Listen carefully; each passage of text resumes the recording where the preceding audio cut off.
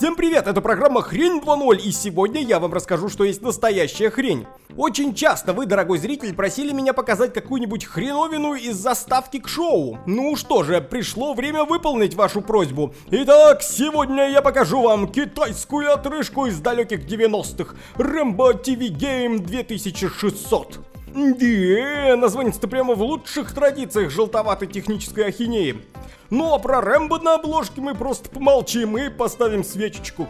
Китайцы в своей неповторимой дебилистической манере сообщают нам на коробке к приставке, что внутри нас ждет аж 25 тысяч встроенных игр со старенькой Atari 2600. Это, мать вашу, действительно впечатляет, потому что на Atari всего вышло чуть больше 400 игр. Но, как вы понимаете, это классический приемчик узкомозного наебательства. И на самом деле оригинальных игр в приставке не более 40. Остальные будут повторяться. И 40 игр это на самом деле очень мало, потому что большая часть из них, даже в золотые времена Atari, были редкостной парашей. Забавен также тот факт, что Rambo TV Game существует в нескольких переизданиях, и в каждом из них разное количество встроенных игр. Тут уж, как говорится, кому как повезло. У ранних китайских клонов Atari была одна беда – качество сборки. Большинство таких говноклонов не выдерживали и двух лет работы, ну а джойстики летели после первого месяца игры. Но вот зато Rambo TV Game был примером удивительного качества производства. Самое миленькое то, что это практически полная внешняя копия классической Atari 2600, за исключением джойстиков. И эта приставка до сих пор работает. Правда, это не касается одного из двух джойстиков, но не важно. На самой приставке мы видим стандартные тумблеры, переключение игр, выключение консоли, выбор сложности и рычажок резет. Также у этого клона есть порты для подключения джойстиков. Кстати говоря, именно джойстики в этой приставке самые худшие, они здесь тугие и весьма корявенькие. Зато и к Rambo TV Game также можно подключить и сеговские геймпады, что весьма радует. Также все ранние китайско-тайваньские клоны Atari имели особенность встроенных игр. И у многих из этих консолей отсутствовал рабочий слот для оригинальных картриджей. Конечно, 80-е и 90-е годы этой трагедии не было, ибо найти картридж для Atari 2600 было крайне проблематично.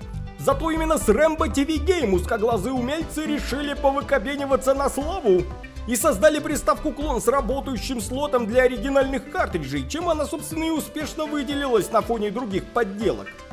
Конечно, немного дико звучит тот факт, что консоль, вышедшая в конце 70-х годов, успешно продавалась китайцами в начале 90-х, но на самом деле лучшая приставка второго поколения видеоигровых консолей без сомнения достойна того, чтобы в нее играли в любое время. И даже сейчас на морально дряхлую Atari стоит обратить внимание. И конечно же наследнички Atari это понимают, поэтому я просто не могу сегодня не показать выпуски и рассказать про современное воплощение старенькой консольки. А этих воплощений уже было 5 штук. Речь пойдет о так называемой флешбэк-серии, переиздании уменьшенной копии консоли со встроенными играми.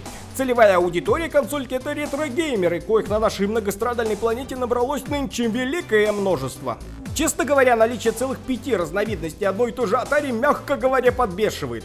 Вместо того, чтобы загрузить абсолютно все игры с классической Atari в одну современную ретроспективную консоль, эти хитрожопы решают разделить приставки по играм. У некоторых версий джойстики идут с проводами, у некоторых работают на батарейках, в некоторых изданиях они кладут всяческие бонусы типа плакатиков, а в некоторых кладут крысиное дерьмо. Их логика проста до болезненной желтоватости. Мол, мы так больше заработаем деньжат, выпуская 5 одинаковых приставок, но с разным набором встроенных игр. Ведь найдутся долбоебы, которые купят всю серию. Надеюсь, что это не так, потому что это не стоит того. Всего в консольку, которую вы видите на своих экранах, встроены 76 игр. И это больше, чем в убогой Rambo TV Game. Лично мне приставка пришлась по душе, и я надолго залип в классический Space Invaders. Кстати говоря, также вышли и флешбеки алдовых консолей Intel Vision и ColecoVision. И это хорошая тенденция, не правда ли? Было бы интересно, если бы вышли ретроспективные редкие консоли, например, Atari Jaguar, PC Engine или Neo Geo. И думаю, они бы имели определенный успех у ретро-геймеров. Ну а на сегодня на этом все. Обязательно кидайте в комментариях ссылки на всяческую хрень, которую вы бы хотели увидеть в новых выпусках, и не забывайте подписываться на канал.